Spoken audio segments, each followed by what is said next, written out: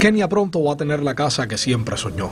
Desde que perdió aquella hace más de 15 años tras un derrumbe y pasó a la comunidad de tránsito ubicada en La Timba, un barrio del Consejo Popular Vedado en el centro de la capital de Cuba. Tiene tres hijos y mucho pasó como madre soltera, aunque ahora el trabajo social que con esta familia se hizo permitió además que el padre asumiera finalmente la responsabilidad sobre los muchachos. Estoy orgullosa, contenta, porque voy a tener una vida un poquitico mejor que antes. Mis hijos van a tener su cuarto propio, yo voy a tener el mío.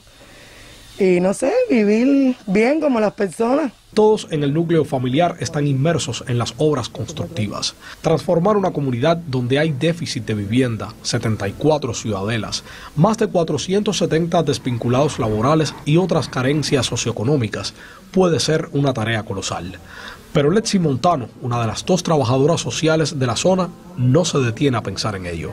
Lo primero que hace es acercarse a su gente, porque ella también es timbera, y ayudar es su mayor pasión. En el trabajo social lo más importante es la práctica, el reconocimiento de las personas cuando pasa que dice, ahí va el trabajo social, ahí va la persona que me llevó al círculo de abuelos y hoy estoy ahí, ahí va la persona que me enseñó a tratar a mis hijos y que me, que me consiguió un trabajo, que estoy trabajando y que hoy así mismo, cuando una persona se incorpora a la sociedad, todo su medio cambia y nosotros tratamos de estar al servicio de la revolución como en el inicio. Seguimos siendo los mismos médicos del LAMA, lo que bueno, en otra época y otro momento distinto. El trabajo integral es fundamental.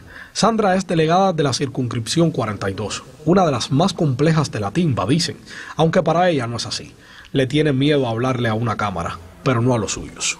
Y cuando tú hablas con ellos, tienen sus manifestaciones como todas las ciudadelas, pero cuando tú te vas a enfrentar con ellos, que hablan con ellos, son los primeros que dan el paso al frente, son los que hasta ahora han vivido ahí, se han quedado ahí son los que en un momento determinado tú conversas con ellos y se puede trabajar con ellos, porque además yo he hecho un trabajo de que llegué ahí y no he tenido ningún tipo de problema, pero realmente es la circunscripción donde más problemas sociales tenemos porque es la parte más envejecida de la timba. Kenia dice con mucha naturalidad que vigila cada paso en las obras. Ahora su trabajo es este.